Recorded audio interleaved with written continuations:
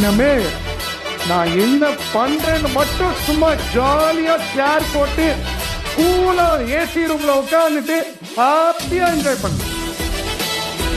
Enjoy ஏன்னா வந்துட்டு. சாதாரணமாக வரல. வேற மாதிரி வந்திருக்கேன் இந்த வாட்டி. விடவே மாட்டேன்.